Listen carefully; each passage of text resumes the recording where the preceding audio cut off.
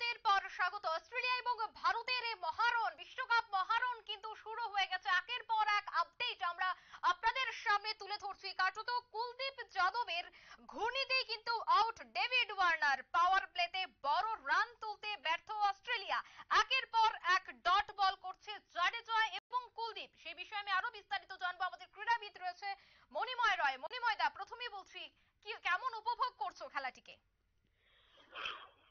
না উপভোগ তবে যে প্রথম দিকে যে পাওয়ার প্লের কথাটা তুমি বললে, এই পাওয়ার প্লেতে যে সুবিধাটা ছিল, সেই সুবিধাটা কিন্তু মনে হচ্ছে হাতছাড়া হয়ে যাচ্ছে। কারণ এই এই পিচে দ্বিতীয় পাওয়ার প্লে বা তৃতীয় পাওয়ার প্লের সময় ওদের যদি উইকেট ব্রেক করা না যায় তাহলে বড় রানের দিকে অস্ট্রেলিয়া চলে যেতে পারে। তবে এই মুহূর্তে পিচের যা অবস্থা বলি তাতে স্পিনাররা খুব সাহায্য পাচ্ছে সেটা বলতে পারি না।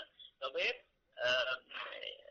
কুলদীপ যাদব নিজের লাইন মেনটেন করে বল করলেও আহ, আমাদের রবীন্দ্র জাদেজাকে সেই রকম ফলপ্রসূ মনে হলো না। তবে আমি জানি না যে এই মুহূর্তে তিনজন তিনজন পেসার তাদের নিজের জায়গা অনুযায়ী কেন বল পারবেন না এবং কেন স্লিপ অঞ্চলের বিহাইন্ড দ্য উইকেটে যে আক্রমণাত্মক মেজাজটা ছিল, সেটা হঠাৎ করে উঠিয়ে নেওয়া হলো, সেটা আমার বোধগম্য হয়নি। ফলে স্লিপ এবং ওয়ার্নার প্রাথমিক ধাক্কাটা কাটিয়ে নিতে সক্ষম হয়েছে। ওয়ার্নারের যে ক্যাচটা কুলদীপ কুলদীপ ধরেছেন, সেটা হচ্ছে, কুলদীপের যে বোলিং অ্যাকশন চেঞ্জ করে ফেলার পরিপ্রেক্ষিতে এর আগে অন্য সময় যেভাবে আসতো ডায়াগোনালি এখন সে সোজাসুজি আসেন। উনি যে সোজাসুজি আসেন, তার পরিপ্রেক্ষিতে হয় কি, তাতে অ্যাগ্রেসিভ মনোভাবটা বেড়েছে।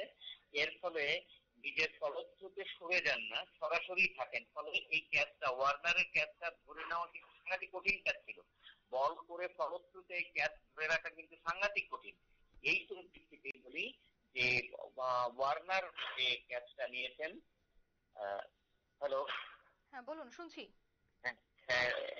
ওয়ার্নারের যে ক্যাচটা নিয়েছেন এতে আমার মনে হচ্ছিল খেলাটা হয়তো আমার পক্ষে চলে যাবে স্পিড খুব ভালো ব্যাট করছেন এই মুহূর্তে বিয়াল্লিশ রানে অপরাজিত আছেন এখন স্মিথ খুব ভালো জায়গায় আছেন খুব ভালো ব্যাট করছেন এই জায়গাতে আমাদের স্পিনারদের স্পিনারদের ভেতরে যে কুলদীপকে খুব টানা বল করিয়ে নেওয়া হচ্ছে, আমার মনে হচ্ছে একটু গ্যাপ দেওয়া উচিত। এই মুহূর্তে অশ্বিনকে নিয়ে যদি আসতেন আমাদের অধিনায়ক, অনেক বেশি ফলপ্রসূ হওয়া সম্ভব হতো। মনে হচ্ছে কুলদীপ একটু টায়ার্ড হয়ে গেছে। আরেকটা কথা আমি বলি, বল মাঝে মাঝেই নিচু হচ্ছে।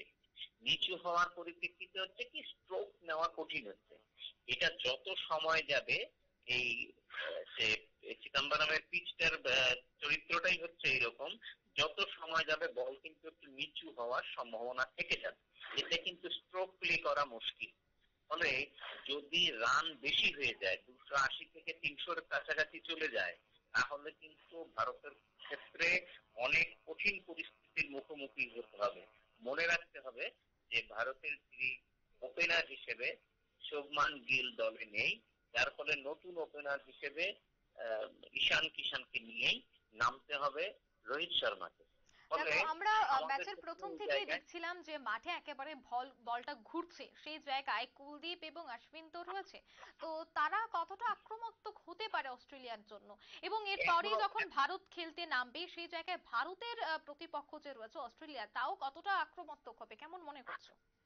আমার কাছে যে প্রথম স্পেল যেটা বুমরার দেখলাম তাতে পিচ যদি এই বুমরার স্পিল বুমরার যে স্পেলটা, এই অনুযায়ী যদি পিচ হয়ে থাকে, তাহলে কিন্তু বল পরে নিচু হচ্ছে এবং পেসের এগেনস্টে, ওরা যে পেসারদের রেখেছে দলে, এই পেসারদের পরিপ্রেক্ষিতে ব্যাট করা কিন্তু খুব কঠিন হবে স্ট্রোক প্লে করা কঠিন হবে। রান যদি পৌনে তিনশো, তিনশোর কাছাকাছি চলে যায়, তাহলে কিন্তু ম্যাচটা যথেষ্ট কঠিন হয়ে যাবে ভারতের পক্ষে, আমার ধারণা। তবে একটা আশার কথা যে অশ্বিন খুব ভালো বল করেছেন একটা বল এবং স্লিপের এগেনস্টে একটা বল যেভাবে বুঝতে দেখলাম সেটা অশ্বিনের অশ্বিন যে বল করেন সাধারণত অফ স্পিন সেটা লেগ স্পিন টেনে দিয়েছিলেন। যার ফলে বলটা এত বেশি টান নিল এতে আমার মনে হয়েছিল পরবর্তী সময় একটা স্পিন স্পিনটা আরও ব্যাপক নেবে। কিন্তু আহ, সেরকম স্পিন নিচ্ছেন না। কোনো কোনো কোনো ক্ষেত্রে বল সোজাই হয়ে যাচ্ছে। বা ব্যাকটা আসার কথা, বল নেমে যাচ্ছে। এই নেমে যাওয়া বলে কিন্তু প্রক্রি করা কঠিন শুধু না, সামনের পায়ের উপরে খুব বড় বড় শট নেওয়া যথেষ্ট কঠিন। কিছু কিছু আলগা ধরনের বলকে অস্ট্রেলিয়ান ব্যাটসম্যানরা যথেষ্ট কৃতিত্বের সঙ্গে নির্দিষ্ট জায়গায় খেলতে পেরেছেন, যার ফলে ওদের রানটা একটু মনে হয় যে স্বাভাবিক যা গতি থাকার কথা, তার থেকে একটু বেশি হয়ে গিয়েছে।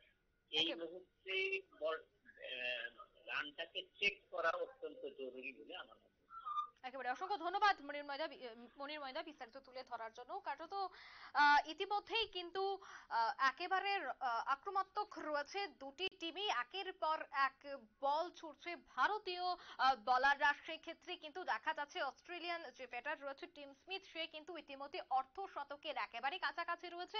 এবং প্রত্যেকটা আপডেটের দিকে কিন্তু আমাদের ইতিমধ্যেই নজর রয়েছে যে যদিও সময়ের অপেক্ষা আরও অনেক ওভার রয়েছে, ইন্ডিয়া নামবে ব্যাট করতে। সেই জায়গায় রণকৌশল কি হবে, অস্ট্রেলিয়া স্ট্রাইক রেট কত হয়, প্রত্যেকটা দিকেই কিন্তু আমাদের নজর থাকবে। এবং প্রত্যেকটা আপডেট আমরা চেষ্টা করব আপনাদের সামনে সরাসরি তুলে ধরার জন্য।